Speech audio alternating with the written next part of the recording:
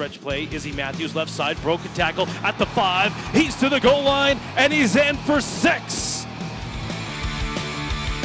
How sweet Matthews. Broken tackle to 15, cut up field. He's at the five. He's in for the touchdown. Go, let's go, Izzy. Let's go, Izzy. Izzy Matthews is a 19-year-old six-foot running back from Redding, California, who has spent the last two seasons playing football for Colorado State. He rushed for 734 yards last season and had 13 touchdowns. Matthews is just a sophomore that has appeared in 24 games and has been a key player for Colorado State.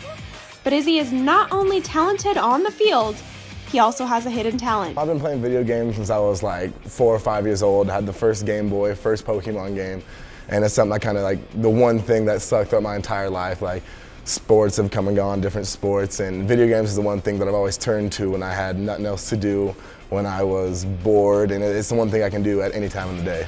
But not only does Matthews enjoy playing video games, he is majoring in applied computing technology and plans to work on creating video games when he graduates. His parents were concerned with how much he was playing video games when he was little, but now they realize this is something bigger than just playing games. When he first started into it, I didn't think that it would be something that he could take on.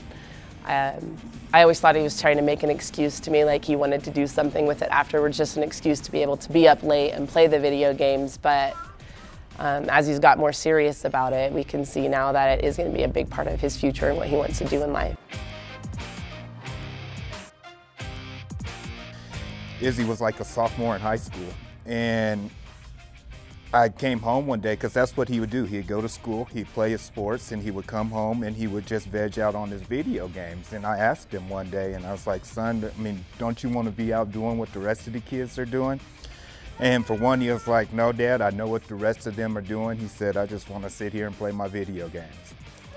While Matthews does have a passion for playing college football and playing video games, he still knows what is most important. I mean, that's the number one thing. Like, my parents didn't send me to school to play football. My parents sent me to school to get my education. It's like, that, that's the first thing in my mind every single morning when I wake up, to, to go to class and get my degree, because that's the most important thing to do while I'm here.